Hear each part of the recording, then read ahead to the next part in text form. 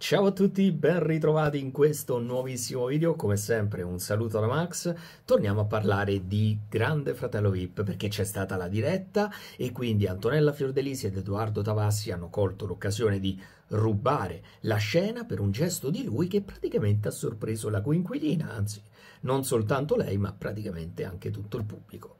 Nel corso dell'appuntamento con Alfonso Signorini è stata decretata anche l'eliminazione di Andrea Maestrelli, tanto lo sapete a chi tocca non si ingrugna e uno comunque doveva uscire.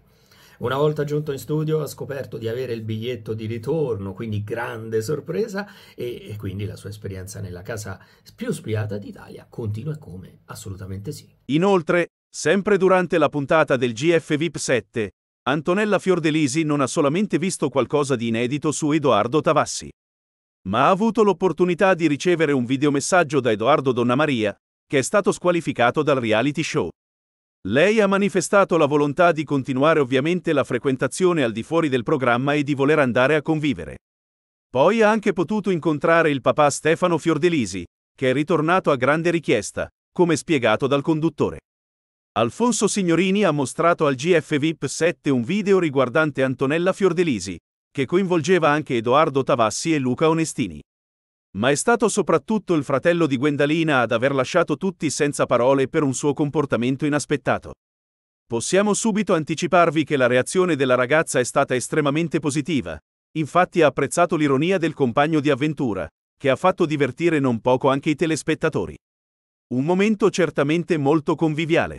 Sono state fatte vedere delle immagini su Antonella Fiordelisi, che è sembrata disperata nei giorni scorsi dopo l'addio di Donna Maria. Lei ha infatti posizionato una foto del volto di Forum sul letto, tipo un santino, e ha anche parlato verso il cielo nella speranza che fosse ascoltata. Allora Tavassi in confessionale ci ha scherzato su e ha fatto una divertente imitazione della giovane. Lui le ha ricordato, sempre con toni molto sereni, che il suo fidanzato non è morto e che quindi potrà rivederlo tra non molto. E Antonella è scoppiata a ridere più volte. Su Twitter la gente ha commentato così il siparietto super divertente. Meno male che c'è Tavassi, non ne possiamo più dei Donnelly sì, Tavassi è la mia vita. No vabbè, Tavassi fa troppo ridere. Ma non sono mancati anche attacchi contro Antonella. Pagliaccia, buffona, sei un'attrice.